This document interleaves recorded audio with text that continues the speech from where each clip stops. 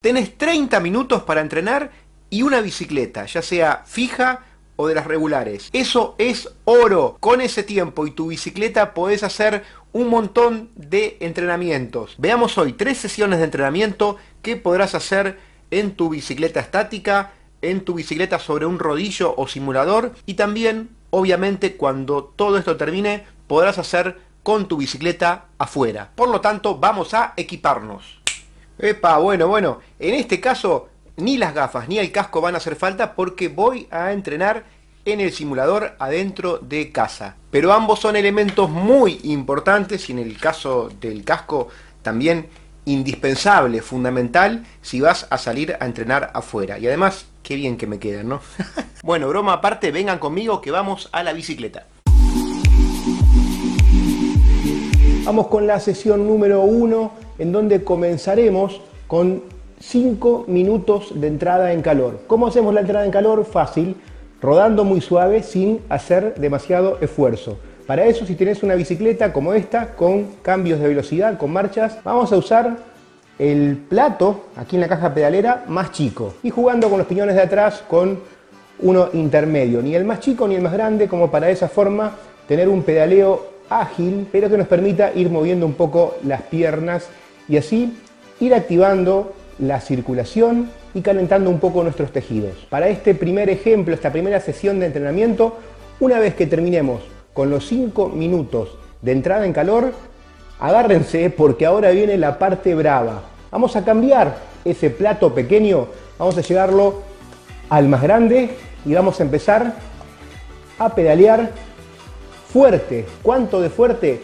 Pensá en una escala de el 1 al 10 para vos, ubicarte entre 8 y 9 en tu intensidad, porque así es como vamos a pedalear durante 12 minutos consecutivos, como si fuese una prueba contrarreloj.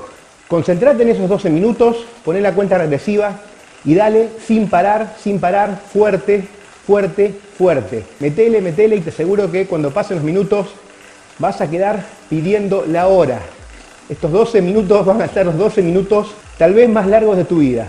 Una vez que terminaste esos 12 minutos, habrás sudado bastante Habrás quemado muchas calorías, habrás puesto a trabajar mucho a tu aparato cardiorrespiratorio y también a tus músculos. Allí será momento entonces de volver nuevamente a cambiar el plato más chico y así otros 5 a 10 minutos de rodar tranquilo, cómodo, como vuelta a la calma. Esto va a depender del tiempo con el que cuentes. De esta forma vas a estar haciendo un entrenamiento de entre 22 a 27 minutos, dependiendo esto de cuánto le dediques a tu vuelta a la calma, que te aseguro, te aseguro que te va a hacer repensar esto de que en poco tiempo no se puede entrenar.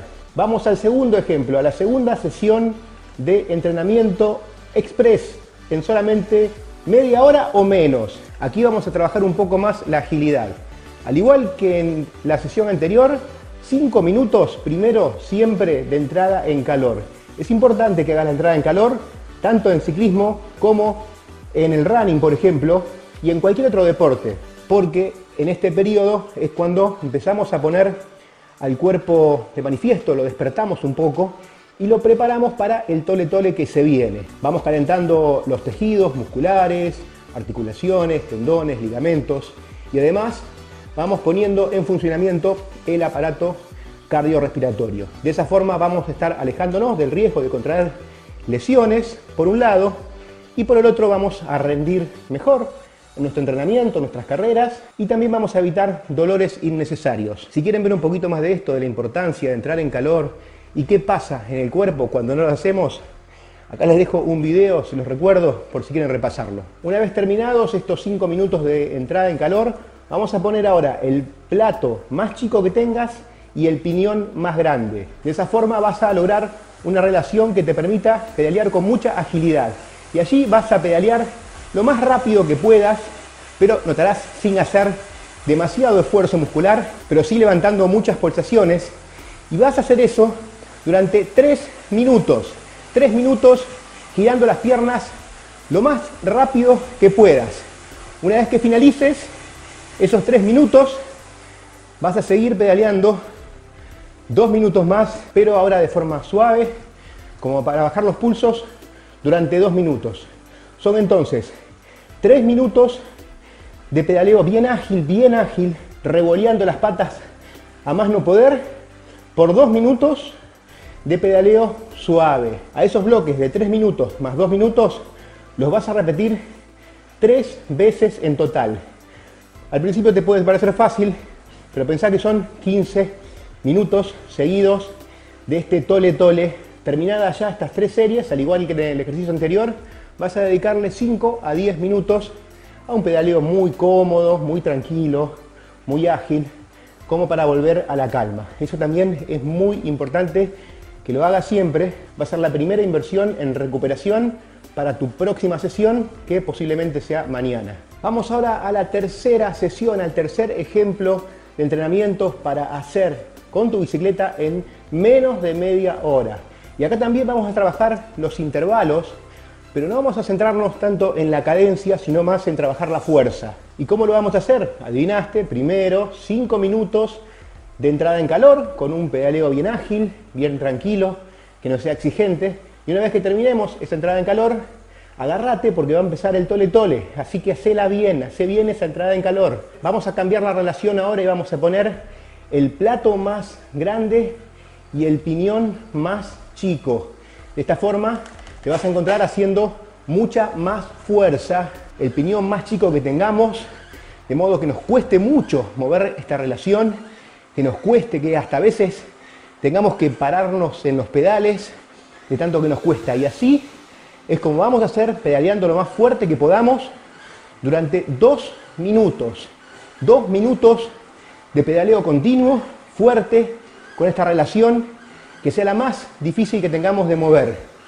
Una vez que terminemos esos dos minutos, donde vamos a terminar pidiendo la hora y con las pulsaciones también altas, ahí cambiamos otra vez el plato hacia el más chico y vamos a hacer un minuto de recuperación con un pedaleo bien ágil, donde otra vez de a poco, bajando las pulsaciones, podamos hablar con otra persona, por ejemplo. No va a ser fácil al principio, pero de a poquito vamos bajando esas pulsaciones.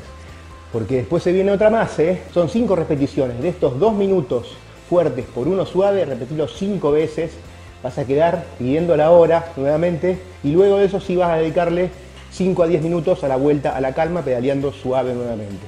Y aprovechando esta pequeña pausa, les quiero comentar a los que están preguntándome acerca de rodillos o simuladores, ciclo entrenadores, como quieran llamarlo. Les tengo prometido que en los próximos días, apenas encuentre un huequito, voy a hacer un video hablando de esto, contando las diferencias, características principales de los grandes grupos de estos equipos y ver así cuál es el que más te conviene. Recuerden, pueden hacer esto con cualquier bicicleta, inclusive si no tienen cambios de marcha también pueden hacerlo, les va a costar un poquito más esto de poder ir cambiando las intensidades, pero por ejemplo también con una bicicleta de spinning se puede hacer poniéndole un poco más de resistencia o aflojándolo. Y lo pueden hacer tanto aquí indoor como cuando todo esto termine afuera sin ningún problema.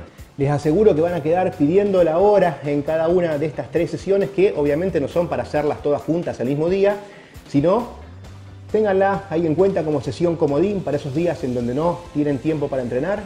Elijan una u otras de estas sesiones y la ponen en marcha. Y a propósito de esto, de estas sesiones que estoy recomendando para estos días, me tomo un pequeño párrafo final para hacer un llamado a una persona que me ha cuestionado que estoy dando consejos de entrenamiento sin ser entrenador y le aviso a esta persona que se llama Sergio, Sergio Espínola, que está equivocado, que soy entrenador, que he estudiado para esto en el año 1999 hice mi estudio de entrenador en las escuelas Amici de Rosario, pero no lo hice para ejercer, sino para tener un poco más de conocimiento y porque esto me gusta nada más. Y uso esta vía para comentártelo, Sergio, porque después de ver tus acusaciones en las redes, te comenté esto, que soy entrenador realmente, aunque no lo ejerza, aunque sea comunicador social, como profesión principal y te quería contar algunas cosas más al respecto, pero automáticamente tu decisión fue bloquearme de las redes, así que no tengo otra forma que llegar a vos de esto.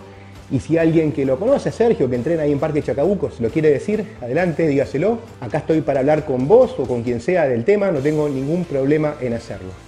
Nada más de mi parte por hoy, solamente por hoy, sigamos entrenando haciéndolo de manera responsable. A los que llegaron hasta acá por casualidad, les interesan estos temas, estos videos y quieren más porque va a haber más, aprovechen, suscríbanse ahora al canal y de este otro lado les dejo otro video como para que vayan viendo mientras esperamos al próximo de este canal que va a ser en cuestión de horas nada más.